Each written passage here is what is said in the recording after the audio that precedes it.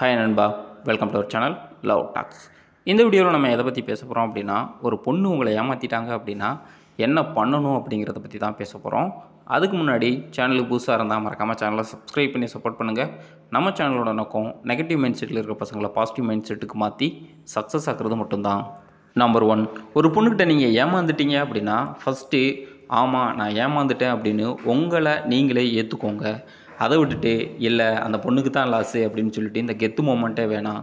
நீங்கள் ஏற்றுக்கிறல அப்படின்னா ரெண்டு விஷயம் நடக்கும். முதல் விஷயம் திரும்ப ஏமாறுவீங்க. இல்லை அப்படின்னா உங்களுடைய மென்டல் ஸ்ட்ரெஸ் இன்னும் அதிகமாகி நீங்கள் எமோஷ்னலாக வீக்காக மாற ஆரம்பிப்பீங்க. எப்போ ஒரு பையன் எமோஷ்னலாக வீக்காக மாறுறானோ அவனுடைய ரெகுலர் ரொட்டீனையே அவனால் பண்ண முடியாது. நிறைய ப்ராப்ளத்தை ஃபேஸ் பண்ண வேண்டியிருக்கும். ஸோ ஃபஸ்ட்டு ஆமாம் நான் ஏமாந்துட்டேன். அந்த பொண்ணு ஏமாற்றிட்டா அப்படிங்கிறத மனப்பூர்வமாக ஏற்றுக்கோங்க நிறைய பேருக்கு ஏமாந்த கோபத்தில் நான் ரிவெஞ்ச் எடுக்கணும் ப்ரோ அப்படின்னு சொல்லிட்டு மைண்டில் ஓடும். கண்டிப்பாக ரிவெஞ்ச் எடுக்கலாம். ஆனால் உடனே கிடையாது. ஏன் அப்படின்னா இப்போ தான் ஏமாந்துருக்கோம். மறுபடியும் ஏன் டைம் வேஸ்ட் பண்ணணும்?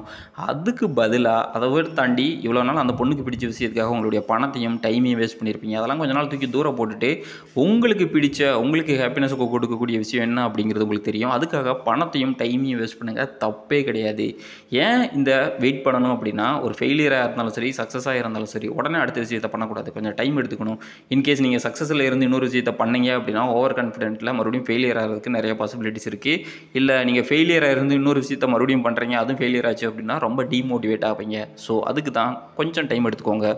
அடுத்து முக்கியமாக பண்ணக்கூடாத ஒரு விஷயம் என்ன அப்படின்னா என்னை ஏமாத்திட்டேல உன்னோட அழகான ஒரு ஃபிகரை நான் கரெக்ட் பண்ணி காட்டுறேன் அப்படின்னு சொல்லிட்டு அதே லவ் ட்ராப்பில் திரும்ப போய் விழக்கூடாது. இது மிகப்பெரிய கேவலமான விஷயம். அதை விட மோட்டிவேஷன் ஆகி நான் பெரிய ஆளாகி காட்டுறேன் அப்படின்னு சொல்லிட்டு நமக்கு வராத ஒரு விஷயத்தை பிடிச்சி தொங்கவும் கூடாது. ஏன் அப்படின்னா உங்களுக்கு என்ன வரும் அப்படிங்கிறது உங்களுக்கு நல்லாவே தெரியும். அதை நீங்கள் ப்ராசஸ் பண்ணால் மட்டும்தான் லைஃப் லாங் எடுத்துகிட்டு போக முடியும். அதை விட்டுட்டு அடுத்தவங்களுக்காக ஒரு விஷயத்தை பண்ண ஆரம்பிச்சிட்டிங்க அப்படின்னா உங்களால் அது ஒரு வேலையாக பார்க்க முடியுமே தவிர அது வந்து உங்களுக்கு பிடிச்சு பண்ணுற மாதிரியே இருக்கவே இருக்காது. ஸோ ஒரு விஷயம் பண்ணுறீங்க அப்படின்னா ஒன்றுக்கு நூறு முறை யோசிங்க. தப்பே கிடையாது. நிறைய பேர் சொல்லுவாங்க எடுத்து ஸ்டார்ட்லேயே பண்ணு.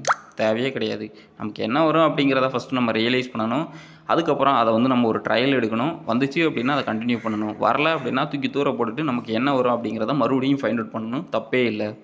அடுத்து நம்ம பசங்க பண்ணக்கூடிய ஒரு காமனான மிஸ்டேக் என்ன அப்படின்னா ஒரு பொண்ணு ஏமாற்றிட்டா அப்படின்னா என் லைஃப்பில் இன்னைக்கு பொண்ணுங்களே வேணாம் அப்படின்னு சொல்லிட்டு அசம்ஷன் பண்ணுறது தயவு செஞ்சு இந்த மிஸ்டேக்கை பண்ணவே பண்ணாதீங்க.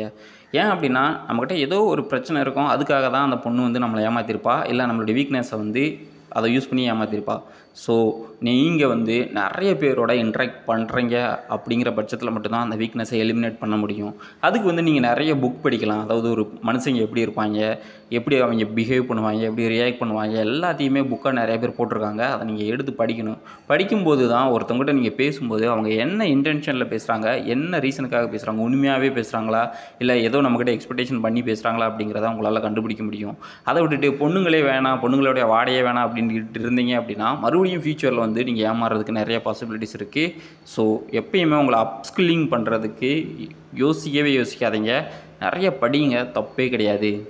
எப்பயுமே ஒரு விஷயத்தை மைண்டில் வச்சுக்கோங்க.